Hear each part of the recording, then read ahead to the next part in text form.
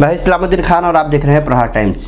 मुमरा किस्मत कॉलोनी नईम खान के बंगले में अचानक रात में आग लग गई। ये आग नीचे एक रफ़ीक फास्ट फ़ूड में लगी। देखते ही देखते ऊपर पहले मंजिले पर भी ये आग फैल गई। आग रात करीब तीन बजे के आसपास में लगी है।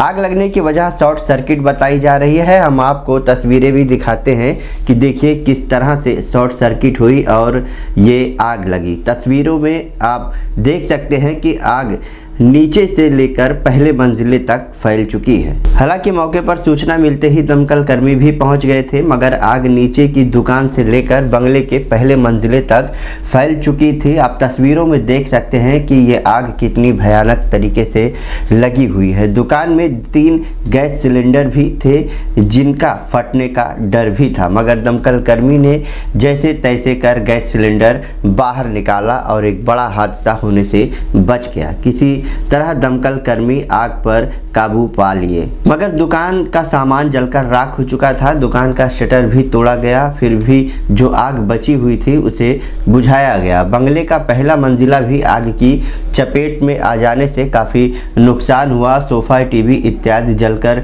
राख हो गए हैं, मगर किसी भी तरह से कोई जानी नुकसान होने की खबर नहीं है। तो तमाम खबरों को जानने के लिए देखते रहिए प्रहार टाइम ताज़ा तरीन खबरों के लिए हमारे YouTube चैनल को सब्सक्राइब करें और बेल आइकॉन दबाना ना भूलें।